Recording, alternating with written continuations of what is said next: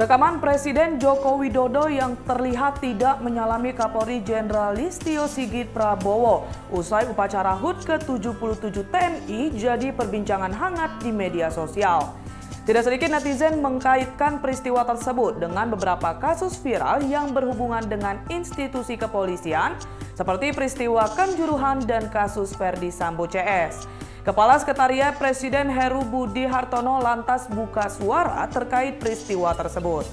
Menurut Heru, tidak ada penyebab khusus Presiden tidak bersalaman dengan Kapolri usai upacara.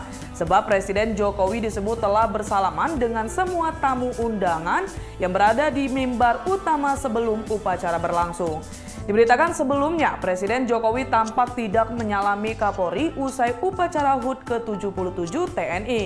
Peristiwa itu terekam jelas dalam unggahan YouTube Sekretariat Presiden. Dalam video tersebut, awalnya Presiden Jokowi menyalami Panglima TNI Jenderal Andika Perkasa. Andika yang mendapat giliran bersalaman pertama memberikan hormat dan membalas jabat tangan Presiden. Setelah Andika, Presiden Jokowi tampak mendekati Kapolri dan menyapanya. Tetapi Presiden tidak mengulurkan tangan untuk bersalaman dengan Kapolri. Ikuti terus berita menarik lainnya. Jangan lupa like dan share seluruh akun Tribun Medan.